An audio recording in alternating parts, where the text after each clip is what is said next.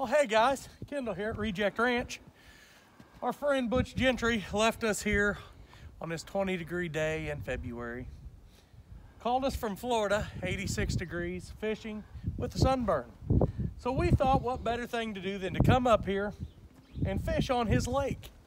I mean, it's a, it's a great day for it. I'm not so sure how my sunburn's gonna look after this. But we figure, oh, oh, oh, I think I had a bite there. Can you, uh, can you see this water down here, Damon? I mean, it uh, looks nice and clear. I mean, it looks Oh, like, yeah. looks like some big fish down in there. We're gonna get them though. Don't worry, Butch. We're gonna catch these fish for you, buddy.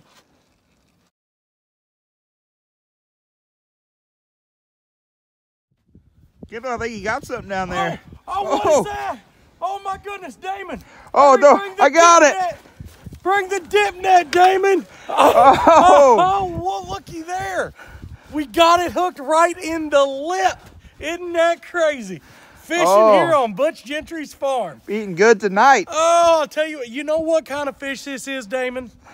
This is ready to eat fish right out of Butch Gentry's lake. Let's come on up here to our table and have us a little fish fry. What do you say? Oh, yeah. Oh, what a great day fishing here at Gentry Farm. I'll tell you what, fishing with Reject Ranch, you just never know what you're gonna catch, guys. Let's see what this little little fish here has inside of her.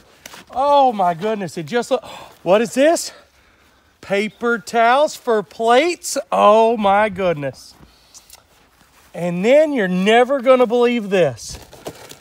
Tartar sauce! This fish had tartar sauce in it and ready to eat. Isn't that something? You know, I could never believe in a million years that a man would want to leave something like this to go to Florida in 86 degree weather. It's just so hard to believe in.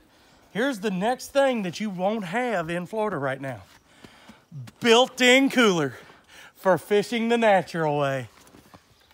This is fishing with Reject Ranch.